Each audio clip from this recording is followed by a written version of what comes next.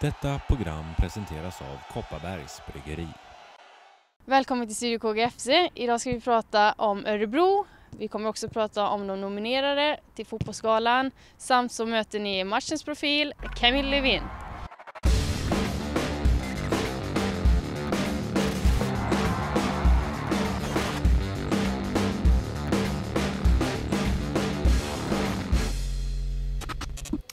Hallå och välkomna in i studion. Speciellt välkommen då till Johanna Almgren. Välkommen hem får vi säga från landslagsuppdrag. Ja, tack så mycket. Hur var det? Och det var riktigt roligt. Det var roligare än på länge och var mycket, mycket glädje och inspiration. Hur var det här, liksom omställningen då? Ny förbundskapten, Pia Sundhage Mm. Nej men absolut, hon har en sån himla passion som smittar av sig och väldigt positiv och offensivt lagd så att eh, det har varit eh, roligt de här dagarna här och, som jag sa är väldigt inspirerande dagar.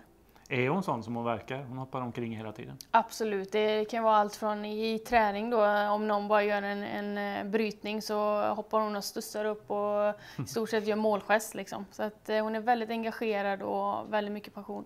Bra resultat fick ni med, 3-0 mot Schweiz. Mm. Ja, en klar seger. Nu väntar då hemma på Valhalla. Nästa motståndare här är på söndag. Då kommer Örebro på besök. Ett Örebro som ni slog med 6-0. Det låter på pappret väldigt enkelt med tanke på deras utsatta tabelläge också. Mm, absolut, och, men vi får inte glömma här nu att det blir en viktig match för dem och de behöver ta, jag vet inte om det är tre poäng för att klara sig kvar här och det kommer bli krig om, om de här tre poängen och ja, de, de kämpar om eh, överlevnad och det är inte alltid lätt att spela mot sådana lag. Vad har de för kvaliteter?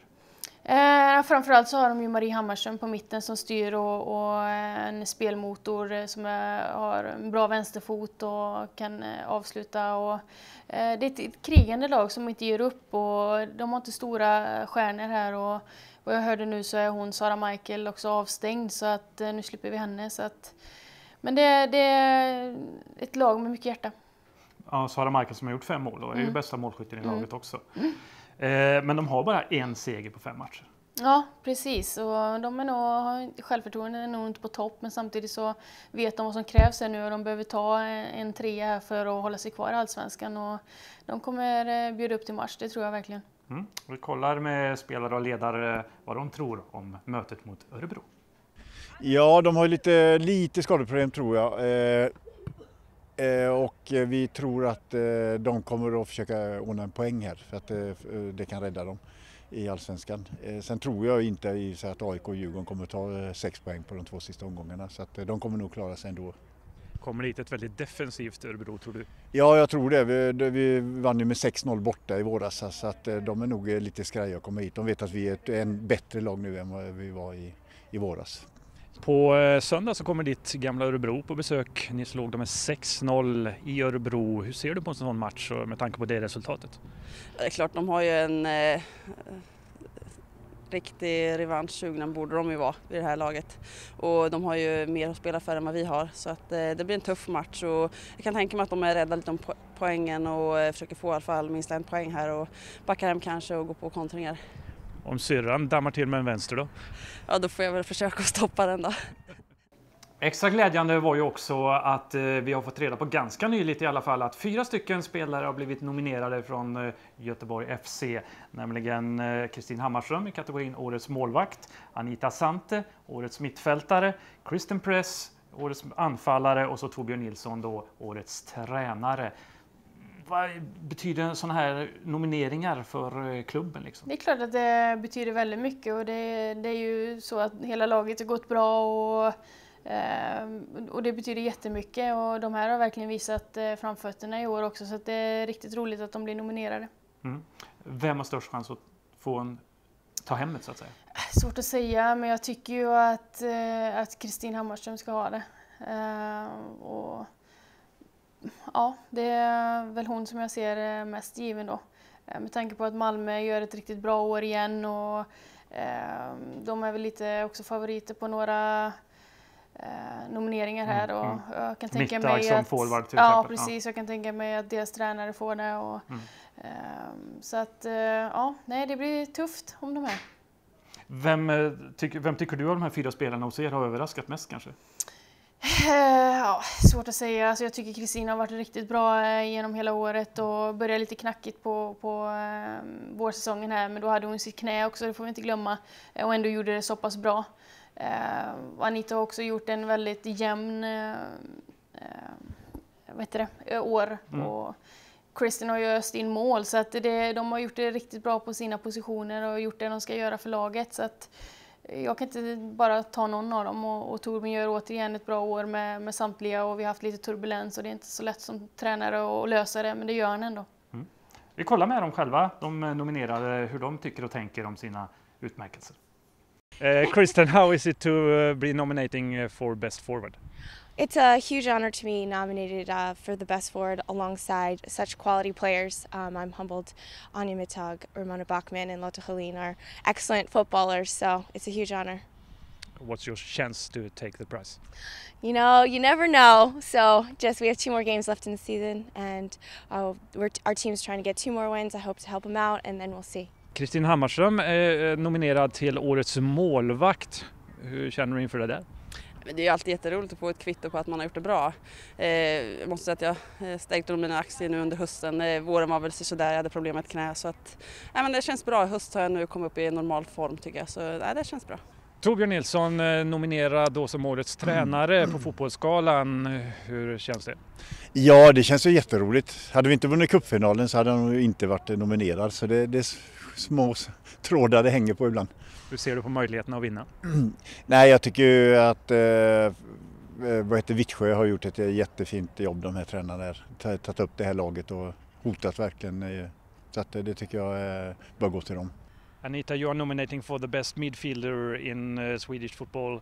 How, what's your thing, thought about that? Uh, you know, it's a great honour to be nominated in such a category with really some really talented players. So I'm just really happy that uh, you know I've been considered for this nomination. What's your chance to take the prize? You know, I think it's you know anyone's uh, chance really. Uh, it's a really tough category with really quality players, and I know every single one of those players. You know, over the years, and um, I just feel really uh, humbled and honoured to be in this category.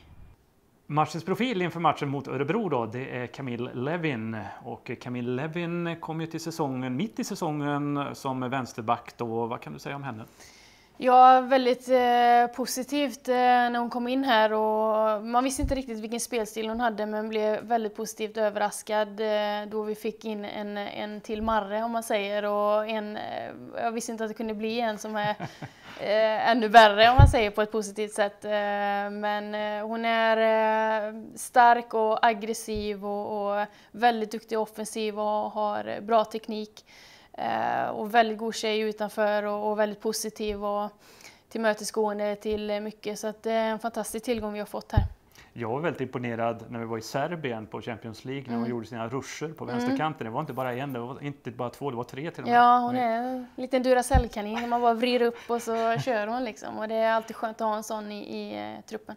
Det är ju det här, hon, hon faller in i det här moderna back, mm. ytterbacksspelet, att, mm. kunna, att våga Offensiv. följa med. Mm. Mm. mm. Och det är jättebra, framförallt om, som jag då, som spelar yttermittfältare, om jag går inåt i banan som jag gillar och vara centralt och avsluta så vet jag att hon hela tiden kommer på utsidan och jag känner att jag kan vara väldigt offensiv och eh, det är också riktigt bra att känna så, skönt. Blyg eller pratar mycket i omklädningsrum? Nej, det kommer mer och mer. Eh, men som sagt, hon är en väldigt god tjej och eh, ja. Eh, så det kommer mer och mer. Det är klart att det är svårt när man kommer till ett lag, men jag tror att hon känner att hon är mycket mer med i gruppen nu. Mm, hon presenterar sig själv så här.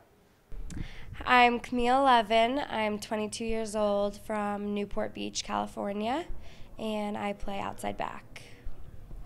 And uh, how is it to play in the Swedish damallsvenskan?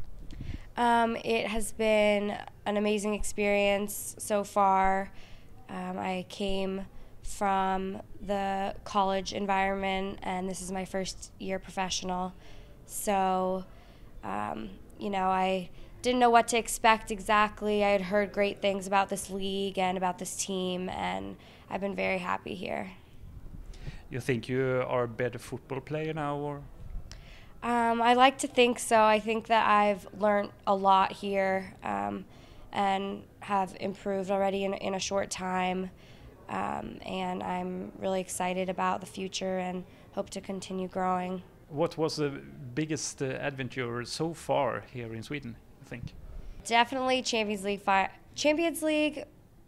I mean, the first first two games of Champions League is, you know, not very many people get to play in Champions League, and um, it, you know, I felt very lucky because I came to this team and they had already qualified for Champions League, and I'm fortunate enough to, you know, have gotten the chance to be a part of this now.